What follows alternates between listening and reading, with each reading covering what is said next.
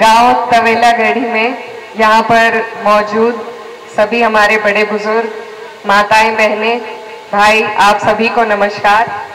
आज इंजीनियर साहब की वजह से पहली बार मेरा इस गाँव में आना हुआ और मैं दिल की गहराइयों से आप सभी का धन्यवाद देना चाहती हूँ खास तौर पर इंजीनियर साहब का कि उन्होंने मुझे यहाँ पर मुझे ये सौभाग्य दिया कि मैं आप सबके बीच आ सकूँ।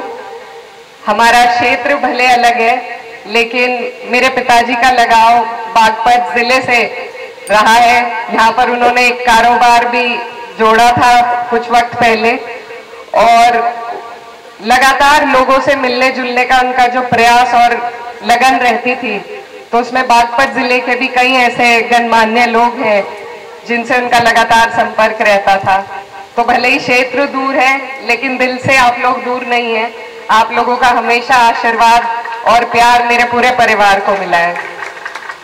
आज जिस उपलक्ष्य में हम लोग यहाँ पर मौजूद हैं, हमारे इंजीनियर रविंदर सिंह जी अपनी ड्यूटी पूरी करके आज अपना जीवन समाज को समर्पित करने के लिए उन्होंने ये जो पहल करी है, जो कार्यक्रम किया है, ये बहुत ही खूबसूरत कार्यक्रम है। मैं दिल से उनका धन्यवाद दूँगी।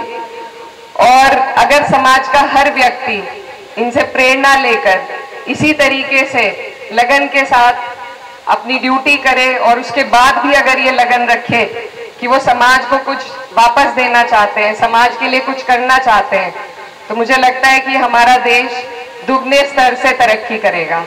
तो ये आपकी बहुत अच्छी पहल है। हम सब युवाओं को आपसे सीख लेने की ज़रूरत है और आप हमारे बड़े हैं। आपसे हमें मार्गदर्शन की भी उम्मीद रहेगी।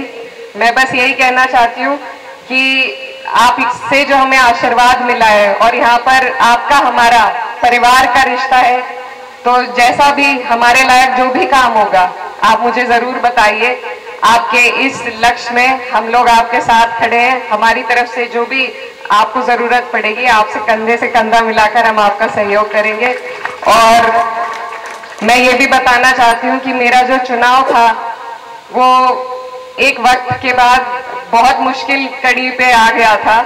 उस वक्त जब परेशानी हो रही थी तो हमारे अंकल जी मौजूद हैं, अरविंद चौधरी जी बनत से। और सबसे पहला आशीर्वाद मुझे बनत से ही प्राप्त हुआ था। और तभी मेरी ढाढ़स बंदी थी कि ऐसा नहीं है।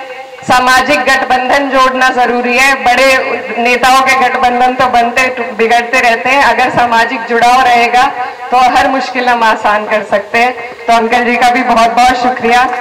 और आपको मैं फिर से बधाई देना चाहती हूँ और आपके इस लक्ष्य में हम सब आपके साथ हैं। बहुत बहुत धन्यवाद